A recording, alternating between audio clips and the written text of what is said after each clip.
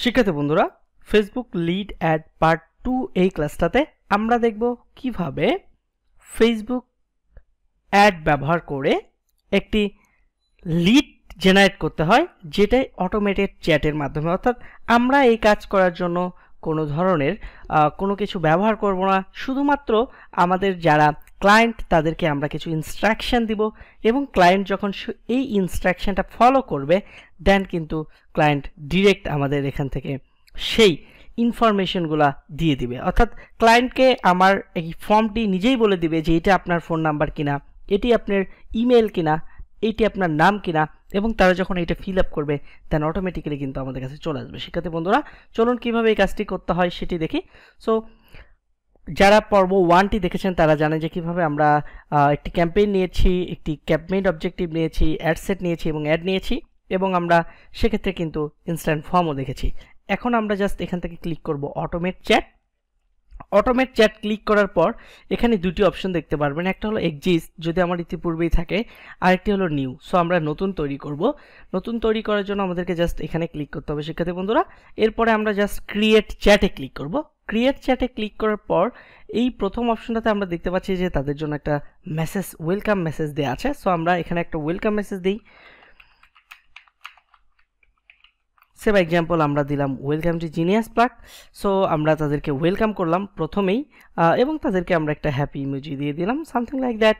এবং আমরা চাইলে কিন্তু এখানে আমাদের লোগো বা কোনো কিছু অ্যাড করতে যদি চাই সেটা কিন্তু আমরা পারব। সেক্ষেত্রে বন্ধুরা, সো আমরা এখানে সেভ এক্সাম্পল একটি লোগো অ্যাড করে দিলাম। সো তাদেরকে এই লোগোটি দেখাবে, অথবা যে কোনো বিষয় আমরা যদি দিতে চাই দেখাবে। শিক্ষার্থী বন্ধুরা?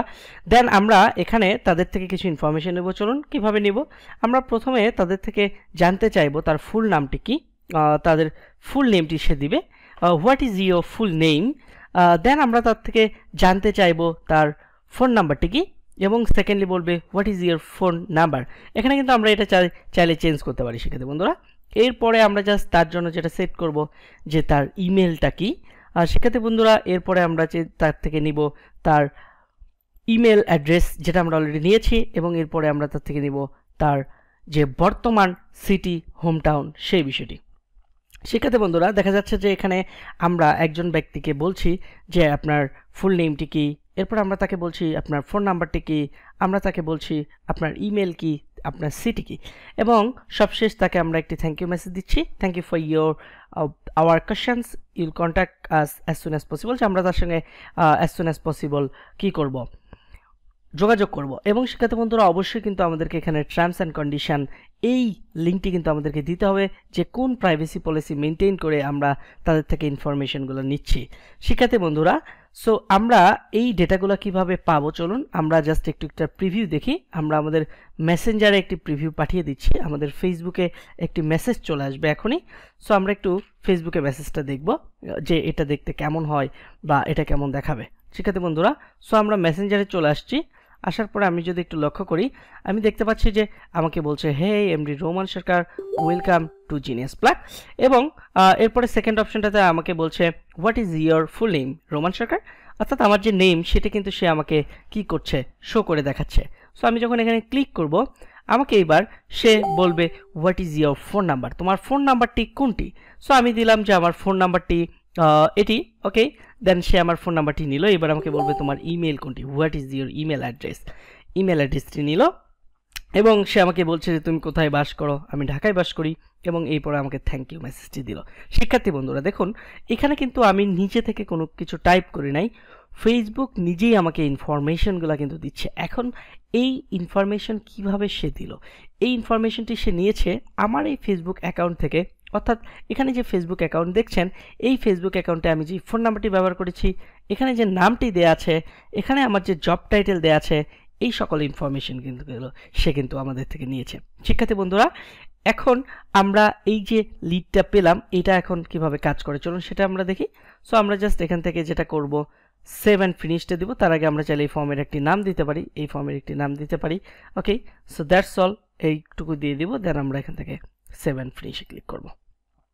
শিক্ষার্থী বন্ধুরা, তৈরি হয়ে গেল আমাদের সেই চ্যাট আমাদের যে চ্যাট সেই চ্যাটের জন্য যে বাটন সেটি। এখন আমরা যদি এখান থেকে পাবলিশে ক্লিক করে দিই, তাহলে কিন্তু আমাদের এই অ্যাডটি পাবলিশড হবে এবং আমরা আমাদের গ্রাহকদের থেকে তাদের লিড সংগ্রহ করতে পারব। সেক্ষেত্রে বন্ধুরা, যদি চাই আমরা কোনো একটা ওয়েবসাইটকে ট্র্যাক করতে পারি, তাহলে কিন্তু এখানে ওয়েবসাইটকে ট্র্যাক করতে পারব এবং তার জন্য আমাদেরকে যেটা করতে হবে পিকজেল নিতে হবে। সেক্ষেত্রে বন্ধুরা, আমরা পরবর্তী ক্লাসে দেখব যে কীভাবে ফেসবুকে পিকজেল সেট করতে হয় এবং এই পিকজেল সেট করার মাধ্যমে কিন্তু যে কারোর ডেটা আমরা কালেক্ট করতে পারি এবং তাকে কিন্তু ট্র্যাক করতে পারি, সে আমার ওয়েবসাইটে কোন পেজে যাচ্ছে, কতক্ষণ সময় থাকছে এভরিথিং আছে বন্ধুরা? আশা করি আজকের ভিডিওটি ভালো লেগেছে। আমরা লিড জেনারেশনের তৃতীয় ক্লাসে দেখব কীভাবে আমরা লিড জেনারেট করতে পারি এবং সেইটার জন্য আমরা আলাদা একটি গোল সেট করব এবং সেই গোলের মাধ্যমে কিন্তু আমরা লিড জেনারেট করব। শিক্ষার্থী বন্ধুরা, আশা করি আজকের এই ক্লাসটি ভালো লেগেছে। আমরা পরবর্তী ক্লাসে অর্থাৎ আমাদের লিড অ্যাড থ্রিতে আমরা দেখব কীভাবে কল টু বিজনেস এই টাইপের অ্যাড রান করতে হয় এবং সেটা দিয়ে কিন্তু আমরা লিড সংগ্রহ করতে পারি। সেক্ষেত্রে বন্ধুরা, আপনারা সবাই ভালো থাকবেন। দেখা হচ্ছে পরবর্তী ক্লাসে ধন্যবাদ সকলকে।